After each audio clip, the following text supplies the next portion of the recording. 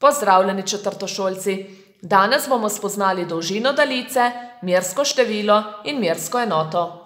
Na tablo sem že narisala daljico AB oziroma daljico A. Zanima me, koliko meri. Vzamemo ravnilo in jo izmerimo. Daljica AB meri dvajset centimetrov. Kako pa to napišemo? Tako. AB je dvajset centimetrov. AB damo med dve navpični črti. To pomeni, dolžina AB je dvajset centimetrov. Dolžino pa lahko napišemo tudi tako. A je dvajset centimetrov.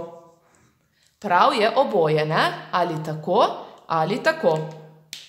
No, pa se si poglejmo še, kaj pomeni tole dvajset centimetrov, ne, to je dolžina daljice, smo že izmerili. Če še enkrat napišem, dvajset centimetrov. No, kaj je dvajset? Dvajset je mersko število.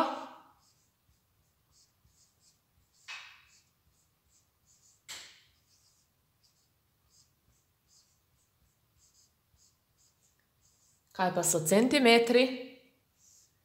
Centimetri so pa merska enota.